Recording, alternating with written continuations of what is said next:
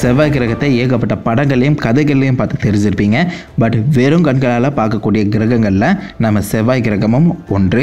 So time இருந்தால் அண்ணந்து வானத்தை பாருங்கள் சிவப்பு கலரில் ஒரு பிளானட் ஒரு கிரகம் ஒளிரும். அதுதான் நம்ம செவ்வாய் கிரகம். அதுக்கு தான் என்னமோ நம்ம எகிப்தியர்கள் இதுக்கு வச்ச பெயர் சிவப்பு கிரகம். ஆல்சோ சைனீஸ் ஒரு சின்ன தப்பு பண்ணிட்டாங்க. இதுக்கு அவங்க சிவப்பு நட்சத்திரம் சொல்லி வந்து பேர் வச்சாங்க. எல்லாருக்குமே தெரிஞ்ச மாதிரி செவ்வாய் கிரகம் தான் நட்சத்திரம் இல்லை. ஸோ அதனால் நம்ம சைனீஸை மன்னிப்போம். திஸ் இஸ் அன்சைன்ட் செவ்வாயின் சிறப்பம்சங்கள். ஸோ செவ்வாய் கிரகம் சொல்லும்போது நிறைய பேர் அதை வந்து பார்த்திங்கன்னா பூமி கூட கம்பேர் பண்ணி பார்ப்பாங்க.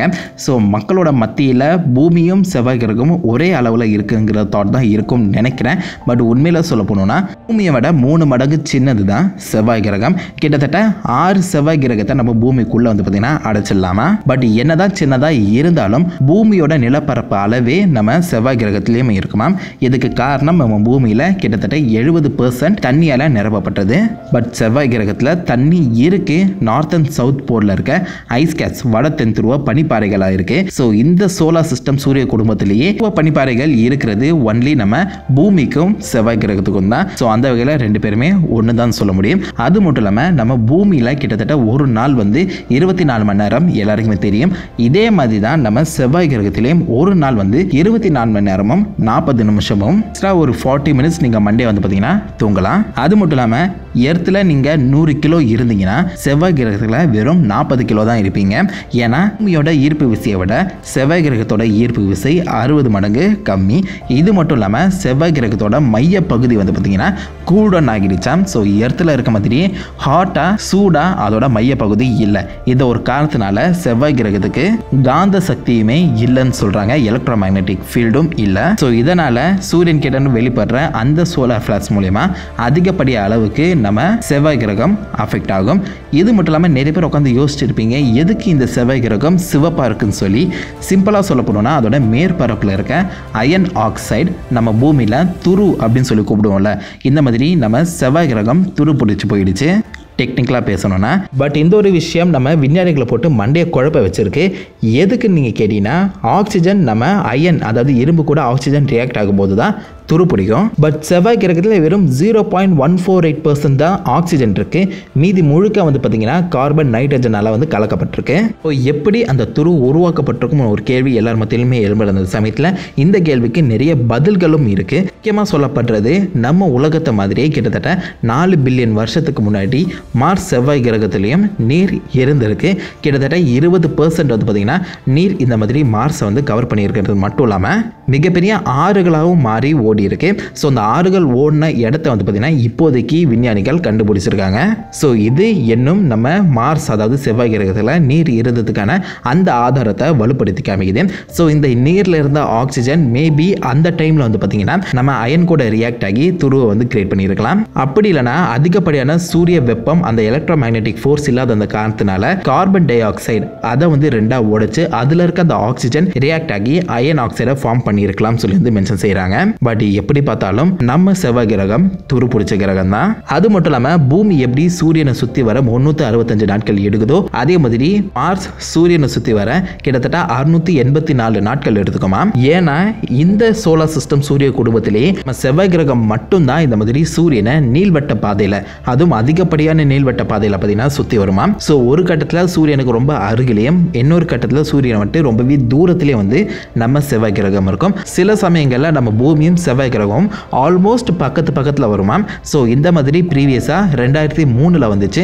ஸோ இதே மாதிரி அடுத்தது வந்து பார்த்தீங்கன்னா ரெண்டாயிரத்தி இருநூத்தி நாற்பத்தி எட்டாம் ஆண்டில் வருமா ஸோ அது வரைக்கும் நம்ம இருப்போமான்னு தெரியல. பட் இந்த விஷயத்தை கண்டிப்பாக உங்களோட பசங்களுக்கு ஷேர் பண்ணுங்க. அட்லீஸ்ட் அவங்களாச்சும் அதை பார்க்கட்டும். இதை தொடர்ந்து நம்ம பூமி மாதிரியே அந்த செவ்வாய் கிரகமும் ஒரு கோணத்தில் பார்த்தீங்கன்னா சாய்க்கப்பட்டிருக்கும். கிட்டத்தட்ட இருபத்தஞ்சு டிகிரி நம்ம பூமி வந்து பார்த்தீங்கன்னா இருபத்தி மூணு டிகிரி வந்து சாயப்பட்டிருக்கு.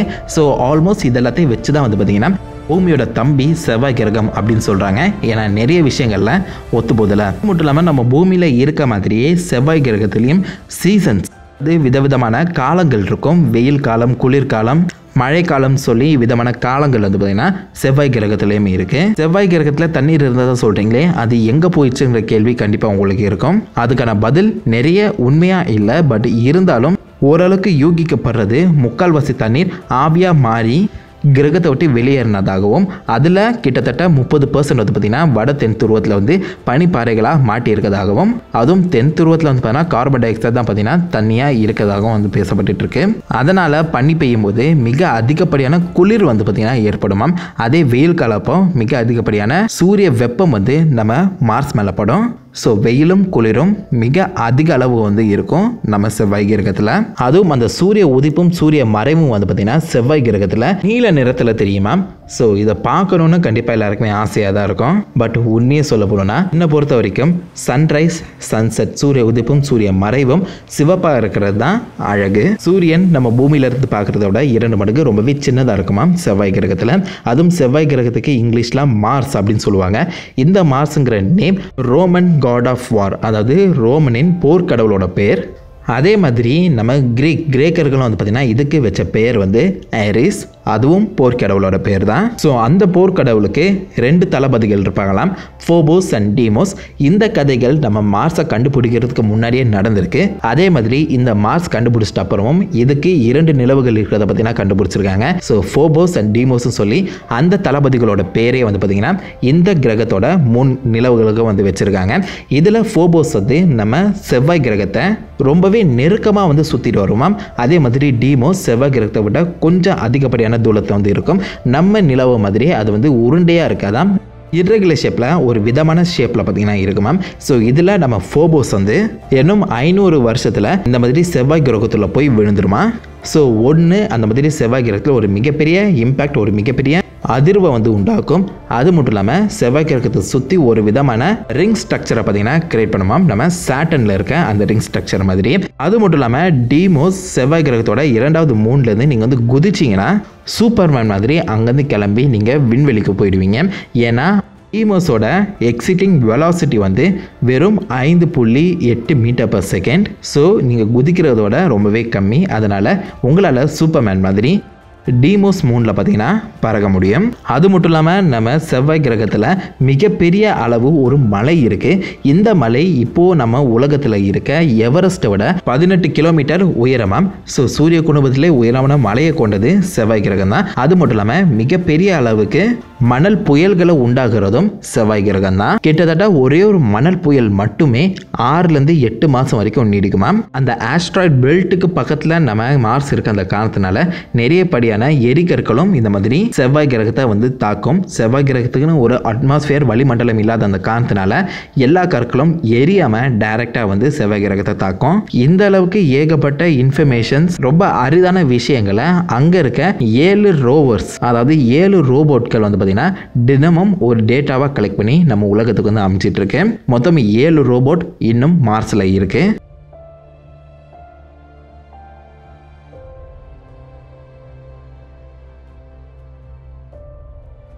இது மட்டும் இல்லாமல் இந்தியாவோட மார்ஸ் ஸ்பேஸ் மிஷன் மங்கள்யான் கேள்விப்பட்டிருப்பீங்கன்னு நினைக்கிறேன். இந்த மங்கள்யானை உருவாக்கி மார்ஸுக்கு அனுப்ப நம்மளுக்கு செலவான காசு எழுபத்தஞ்சு மில்லியன் பட் இப்போ லேட்டஸ்ட்டாக மார்ஷியன் அப்படின்னு சொல்லி மேடம் நடிச்ச ஒரு படம் வந்து ரிலீஸ் ஆயிருக்கும். அந்த படம் இருக்க செலவான காசு one naught five million so வெறும் எழுபது பர்சன்ட் காசை யூஸ் பண்ணியே நம்ம இந்தியாவிலேருந்து ஒரு மிகப்பெரிய ஸ்பேஸ் மிஷன் மங்கல்யான் அதோட முதலாவது முயற்சியிலே வந்து பார்த்திங்கன்னா வெற்றியை கண்டுச்சு.